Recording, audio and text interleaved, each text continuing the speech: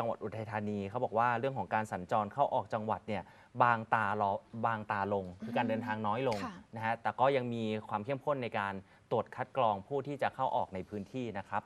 เนี่ยแหละฮะบรรยากาศที่เมืองพระชนกจักรีจังหวัดอุทัยธานีนะครับบรรยากาศการสัญจรเข้าแล้วก็ออกจากจังหวัดเนี่ยค่อนข้างบางตาเนี่ยฮะอย่างที่เห็นบางตามากอุทัยธานีเนี่ยการสัญจรเนี่ยคือค่อนข้างน้อยกว่าน้อยจังหวัดอยู่แล้วใหญ่ ๆ อยู่แล้วใช่นะฮะแต่ว่าพอมีการ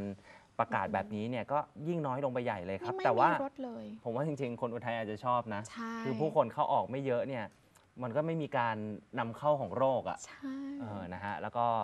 เจ้าหน้าที่ก็ทำงานง่ายฮะเนี่ยฮะพอมีรถเข้ามา ก็มีจุดตรวจนะฮะคัดกรองวัดไข้กันสักหน่อย มีโรคอะไรไหมมีอ่าอุณหภูมิร่างกายเกินหรือเปล่า ใช่ สอบถามกันสักเล็กน้อยสารทุกข์สุขดิบในช่วงนี้เป็นยังไงนะคะ ทุกคนก็ให้ความร่วมมือเป็นอย่างดี แล้วก็สังเกตที่เปิดอ่ากระจกรถออกมานะคะ ใส่หน้ากากอนามัยกันทุกคนเลยอืม นะให้ความร่วมมือเป็นอย่างดีเลยนะคะ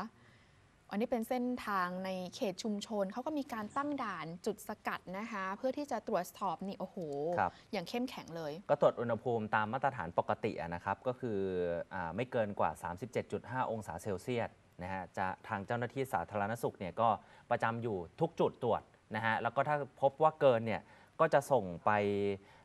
โรงพยาบาลในทันที ใช่แล้วนะคะ แล้วก็เส้นทางที่เขามีการตรวจสอบดูแลอยู่นะคะสามเส้นทางนะคุณผู้ชม อุทัยธานีนครสวรรค์อุทัยธานีชัยนาทแล้วก็อุทัยธานีสุพรรณบุรีค่ะ ก็มีเจ้าหน้าที่อยู่ที่คุณผู้ชมเห็นนี่แหละ คอยตรวจนี่เป็นย่านตลาดอะนะคะคุณย่านครับวงเวียนที่เราเวลาไปซื้อข้าวซื้อของอ่าอันนี้อย่างเป็นภาพขนส่งไหมเนี่ยอ่าสถานีขนส่งใช่ฮะโอ้โหบางตาครับดีแล้วค่ะ อยู่บ้านตอนนี้อยู่อืมบ้านช่วยประเทศกันนะคะ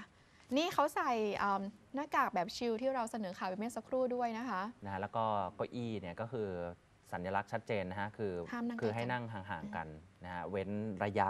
ตามนโยบาย Social Distancing นะฮะ ค่ะ ที่มีการปรับรูปแบบนะฮะวิถีชีวิตเราก็เปลี่ยนพอสมควร ใช่คือปกติเนี่ยเราก็จะอยู่ใกล้ชิดกันอือหือผู้คนคือคนไทยอะเราก็ไม่ได้รู้สึกรังเกียจ ใช่ เพื่อนมนุษย์ด้วยกันอะหนุ่งหนิงเราหนุ่งหนิงก็จะนั่งใกล้กันอ่าบางที